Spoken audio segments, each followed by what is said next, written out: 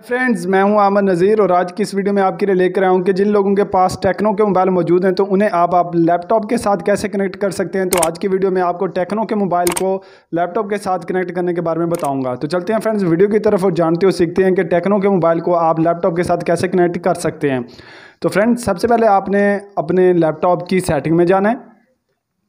आपने लैपटॉप की सेटिंग के ऊपर आपने क्लिक करना है। जैसे आपकी लैपटॉप की सेटिंग ऑन हो जाएगी तो यहाँ से आपने सिस्टम में क्लिक करना है, सिस्टम के ऊपर। जैसे आप सिस्टम के ऊपर क्लिक करेंगे तो फ्रेंड इसके नीचे यहाँ पे ऑप्शन आप देख रहे हैं, project, projecting to this PC. आपने इसके ऊपर क्लिक करना है। जैसे आप क्लिक करेंगे तो यहाँ पे आपने क्लिक करके आपके सामने every available everywhere on secure network का ऑप्शन मौजूद होगा। आपने इसके ऊपर करके क्लिक करने के बाद अवेलेबल एवरीवेयर के ऊपर क्लिक कर देना है। और इसके नीचे अगर आपके पास first time a connection is requested का ऑप्शन होगा, आपने इसके ऊपर करके फ़र्स्ट टाइम ओनली के ऊपर क्लिक कर देना है। और यहाँ पे आपने नेवर कर देना है और इसके नीचे आपने इसे ऑफ़ कर देना है। ऑफ़ करने के बाद फ्रेंड्स आपने यहाँ से अपने मोबाइल को आपने लेना है। लेने के बाद आपने मैं इसका लॉक ओपन कर लेता हूँ। लेने के बाद फ्रेंड्स आपने अपने मोबाइल की सेटिंग में जाना है। सेटिंग में जाने के बाद यहाँ पे आप ऑप्शन देख रहे होंगे कास्ट का।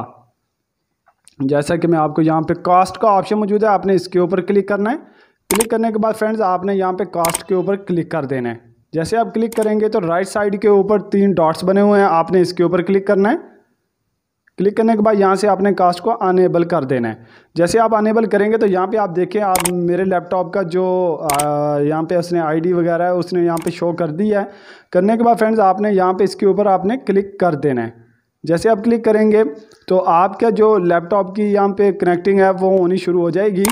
तो ये कुछ टाइम लेगा कनेक्टिंग के लिए। तो आपने देखना है कि आपकी जो लैपटॉप की कनेक्टिंग है यहाँ पे आपका जो डिवाइस नेम है, वो बिल्कुल ठीक है। यहाँ पे इसके नीचे भी यहाँ पे इसका लैपटॉप का डिवाइस का नेम आ रहा है। तो आपने यहाँ से लेने के बाद फ्रेंड यहाँ से आपने